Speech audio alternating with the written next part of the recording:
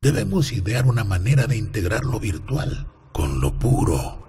De igual modo debes volver a aprender la esencia de tu verdadera naturaleza. Nuestro proyecto era el de formar una biblioteca con los mejores libros de nuestros antepasados. Entonces nació la idea de respaldar todo el conocimiento en servidores digitales. Este recinto es un lugar muy especial. Ven conmigo.